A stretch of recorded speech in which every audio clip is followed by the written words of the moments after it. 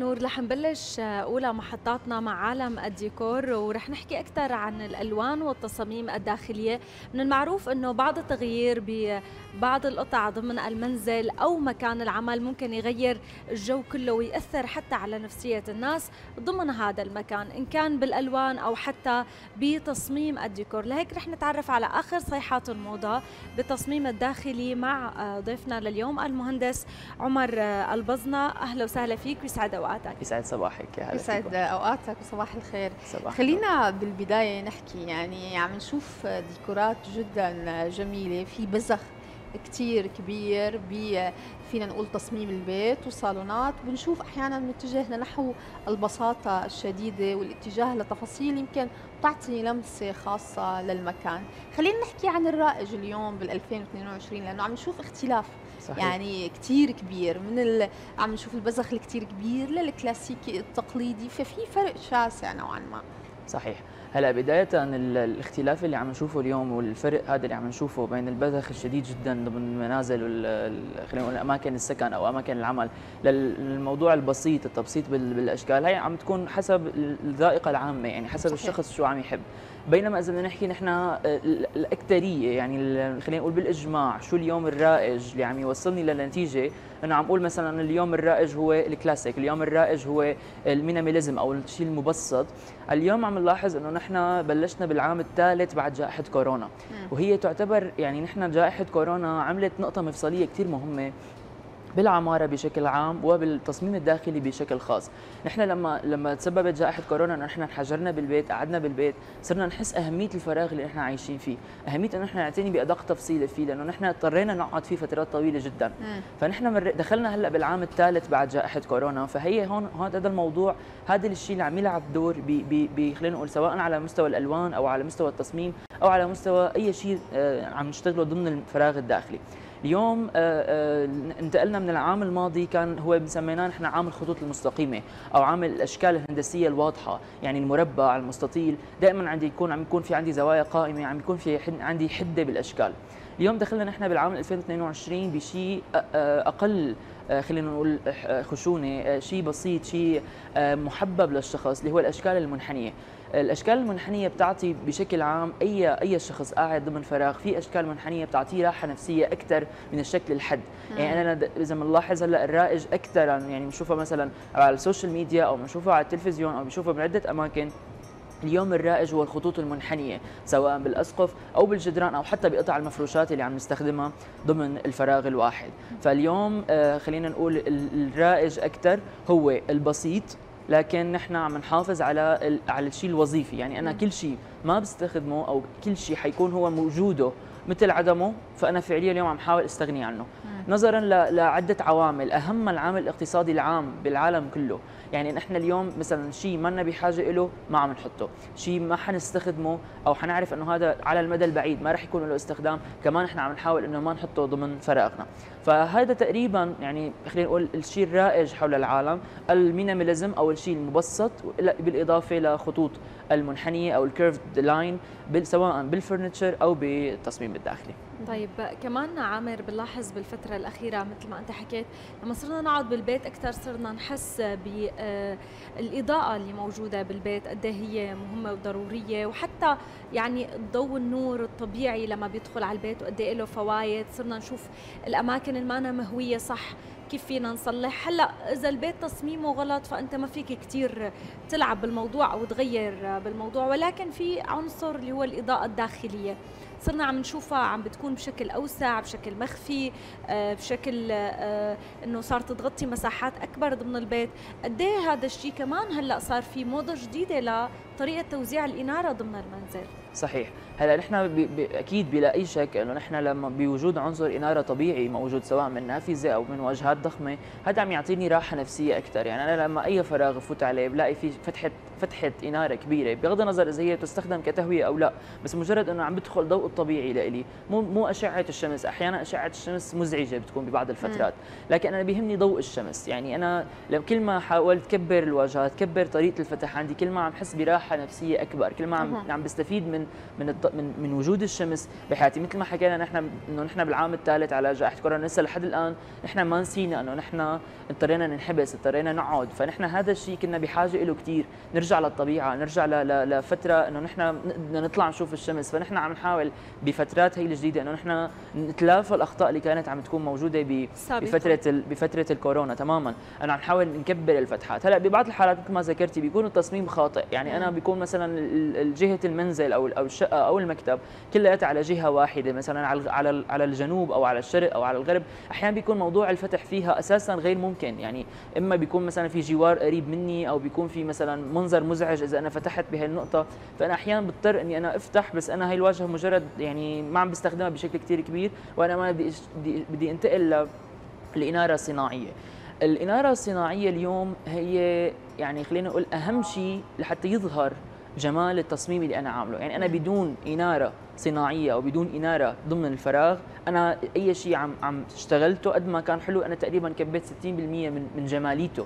اليوم الإنارة سواء بعدة أشكال الإنارة المخفية الإنارة المسلطة الإنارة الواسعة أي نوع من أنواع الإنارة هو عم يعطيني يعني عم يكمل لي عم يحلي لي الشيء اللي أنا عامله. أوكي أنا عامل قد ما كنت عامل شيء حلو بدون أي بدون إنارة. تسلط الضوء خلينا نقول على هذا الشيء اللي أنا عامله فما عم بقدر أحصل الرقم الأعلى أو أحصل على أعلى أداء أو أعلى شيء أنا من اللي أنا مصممه.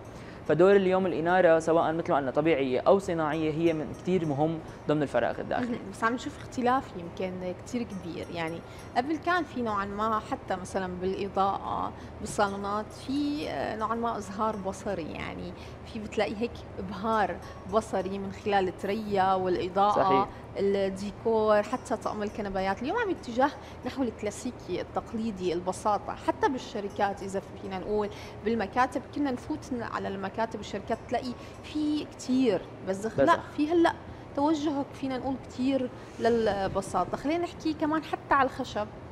كنا نشوف كمان كمية خشب كتير كبيرة تفاصيل بالديكور كتير قوية. لا اليوم عم نشوف مثلا الخشب عم يدخل بمطارح معينة بالبيت حتى بالمكاتب حتى بالشركات. عم يكون استغلاله بطريقة فينا نقول حتى المساحة بتلعب دور. هذا صحيح. شو شو له علاقة فينا نقول؟ فينا نقول مو فقط جائحة كورونا حتى التكلفة المادية صارت تدخل بالموضوع.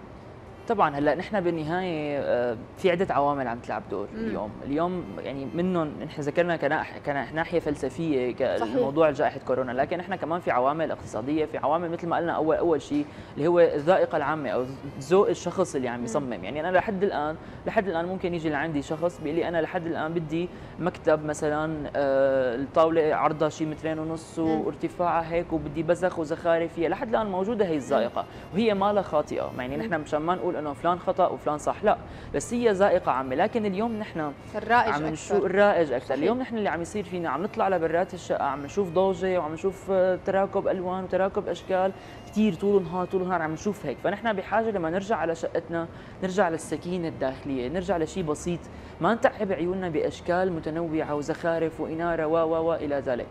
بالإضافة مثل ما ذكرتي حضرتك كمان إنه موضوع اليوم التكلفة المادية.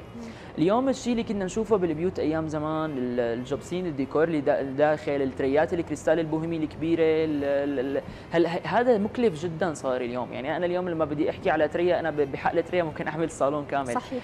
بالإضافة إنه نحن اليوم وسائل الإنارة المستخدمة اليوم عم تتجه سواء بسوريا أو برات سوريا عم تتجه نحو توفير الطاقة نحو مم. موضوع الاستدامة. فأنا اليوم الشيء اللي كنت أستخدمه من قبل التريات والهي نوع الإضاءة المستخدمة فيها هي غير موفرة للطاقة اطلاقا. هي بالعكس مستنزفة للطاقة. صحيح. فنحن اليوم عم نحاول نتجه لنحو البساطة لواحد من الأسباب اللي هو إنه نحن اليوم اقتصاديا ما عندنا المقدره إنه نحن نبذخ هالقد. بالإضافة إنه اليوم حتى مثلا موضوع مثال ديكور داخلي أو جوبسين اللي كنا نشوفه عليه اليوم هذا أساسا ما عاد مستخدم.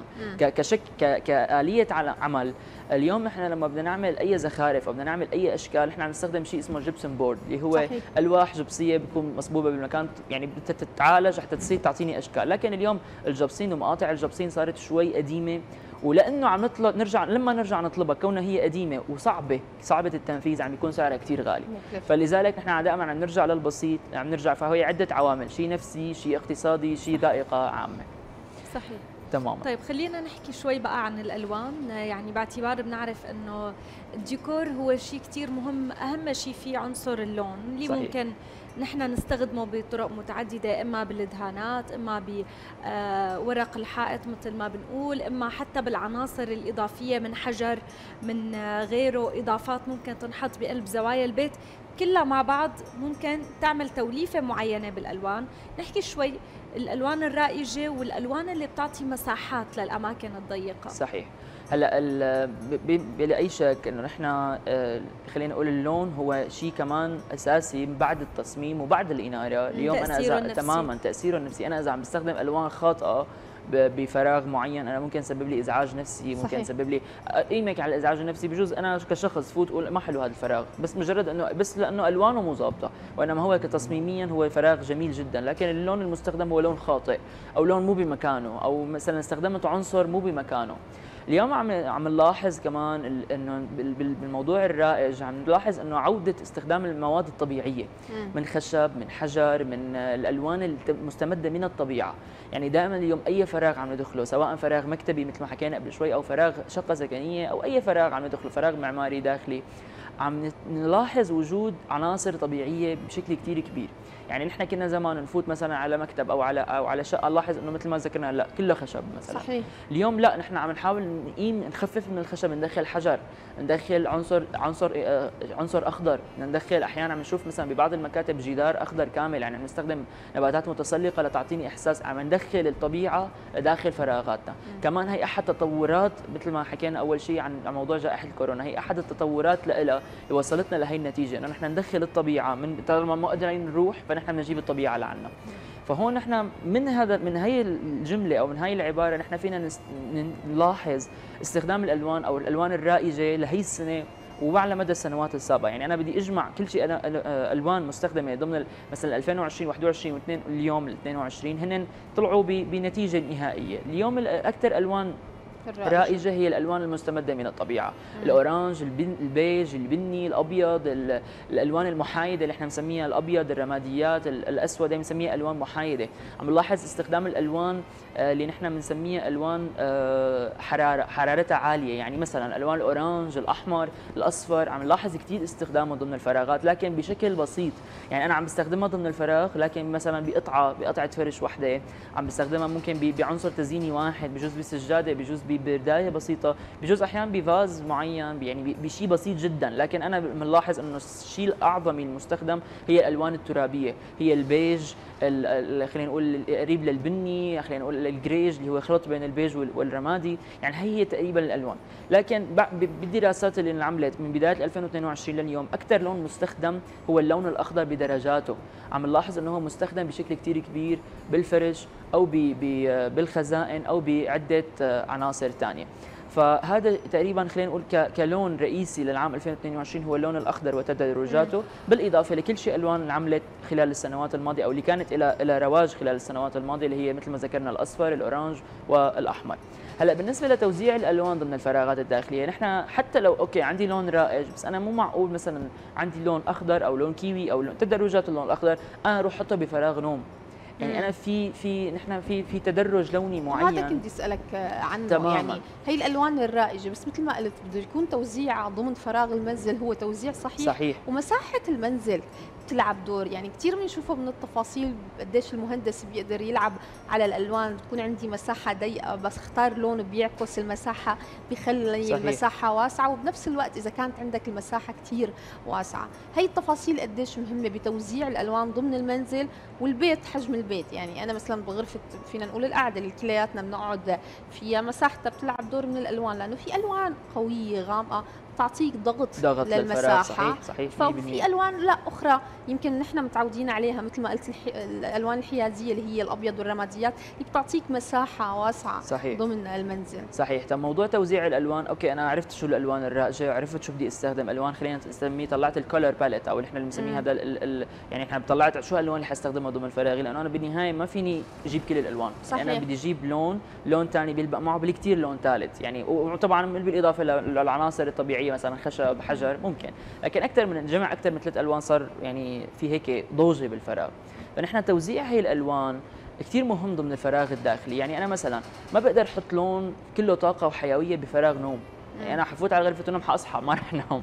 فأنا لما مثلا بدخل أماكن اللي بحاجه إني أنا أكون فيها relax أعمل relax أعمل هدوء لكل لحالي فأنا هون بدي أستخدم ممكن أستخدم نفس الألوان لكن بدي أستخدم شيء بنسميه الباستيل منه. يعني بمعنى اللون المسحوب الإشباع تبعه أو ال saturation تبعه. يعني هلأ نحن مثلا مثل الفرش اللي المستخدم الكيوي أنا ممكن إني أستخدمه بس أنا لازم أسحب الإشباع تبعه. الأزرق لازم يعني أنا احوله أقرب ما يمكن للون الأبيض. يعني أنا بيكون مثلا هو عبارة عن أبيض وفيه هيك آه، نقطة نقطة تماما. خفف قوة اللون خلينا نقول، يعني أنا ممكن يكون لونه الأساسي أبيض معه هيك لون أزرق خفيف، لون أحمر خفيف، لون أصفر خفيف، عم يعطيني راحة، هلأ أكيد اليوم آه، آه، بدنا ناخذ بعين الاعتبار كل لون شو يعني شو بيعطي للنفس البشرية، شو بيعطينا إحساس للنفس البشرية على مدى العصور هذا الشيء انعمل مو بس ضمن هالفترة، يعني أنا مثلا اللون الأخضر، اللون الأزرق بيعطيني relax، اللون الأحمر بيعطيني طاقة، اللون ال orange بيعطيني طاقة، بيعطيني نشاط أكثر، فهون بلاحظ إنه أنا مثلا لما بنتقل لفراغ المعيشة أنا قادر إني أنا أستخدم ألوان الخريف اللي الاورانج الأصفر هدول الألوان. أنا بقدر إني أنا أستخدم الألوان الزر يعني الأزرق وتدرجاته. قادر إني أنا كمان أستخدم الألوان الصفراء. يعني أنا بفراغي اللي أنا بحاجة لطاقة فأنا بقدر أستخدم أي لون طالما هو خلينا نقول درجة اللون قوية. لأنه بتعطيني طاقة بتعطيني تحفيز. هلأ بالنسبة لموضوع الفراغ أنا لما يكون عندي فراغ صغير أو فراغ كبير مثل ما ذكرتي حضرتك أكيد اللون بيلعب دور بشكل كثير كبير. صحيح. إما بيضيق الفراغ علي أو بيوسع الفراغ أكثر يعني أنا لما بكون قاعد بصالون مثلا 5 امتار ب 6 امتار يعني يعتبر نوعا ما صالون وسط. فأنا هون بدي أحاول إنه أحافظ على هي المساحة. لا بدي كبره أكثر ولا بدي صغره أكثر أما بينما مثلا بدي أنزل لغرفة معيشة أقل من هيك مثلا 3 ب 3 أو 3 ب 3 امتار ب 4 امتار فهي نوعا ما ضيقة. يعني ما أنا بقعد ضيق. شو الألوان اللي بتكون هون مفضلة هلأ هون أنا كل ما حاولت فتح اللون كل ما أنا وسعت على حالي. أكثر يعني أنا مثلا الاسقف كثير بنشوف أحيانا أخطاء معمارية أو أخطاء بالتصميم الداخلي مغمقين لون السقف. أنا لما بغمق لون السقف أي لون إن شاء الله لو حطوا لون أخضر أو لون أحمر أو أزرق آه بيعطيني ضغط على على على أعصابي. أنا بقعد مضغوط. حتى موضوع الجدران هلا مثلا نحن لما بدنا نوسع بالعرض بنغمق الجدار اللي بالواجهه من الجدران اللي على الجدران بنفتحها فبتعطيني طول أكثر للغرفة. يعني هي مثل خداع بصري نوع من الخداع البصري. أنا عندي سقف كثير عالي بدي أحاول أخفضه فأنا بغمق لون السقف. نوعا ما بيخفض السقف. عندي عمليه العكس. سقف كثير منخفض بدي أحاول أرفعه بدي أحاول أحسس حالي إنه أنا بفراغ أعلى. كمان نفس المبدأ بنحاول نفتح السقف ونغمق باقي آه، الجدران. هلأ هون كمان بيدخل بموضوع المساحات بيدخل التصميم نفسه بحد ذاته. يعني إحنا الخطوط الطولية والخطوط العرضية بالتصميم كثير بتلعب دور إنه يا إما بتوسع لي الفراغ كارتفاع أو بتضغط لي إياه أكثر يعني مثل لما كثير كثير بتشبه لما نحن بالثياب مثلا بيقول لك لا تلبس كارو طويل لأنه بيعطي مثلا بيبين الواحد سمين أو نحيف. نفس المبدأ. لما أنا بحط خطوط طولية بتعطيني إحساس إنه الفراغ ممطوط للأعلى في فراغ طولي ارتفاع عالي. فأنا لما يكون عندي أساسا ارتفاع عالي وأنا عم بحط عناصر شاقولية هيك عناصر أفقية على طول شاقولية. عم تسبب لي إنه أنا لسه عم بحس الفراغ أطول. نفس الوقت إذا أنا عندي سقفي منخفض وعم بحط عناصر أفقية فأنا عم بحس إنه السقف صار مضغوط أكثر فهي يعني عدة عوامل بتلعب دور صحيح. بهذا الموضوع. صحيح. مثل ما قلت بدنا نشكرك. شكرا كثير شكرا لكم. شكرا أكيد لوجودك معنا. شكرا كثير شكرا لكم.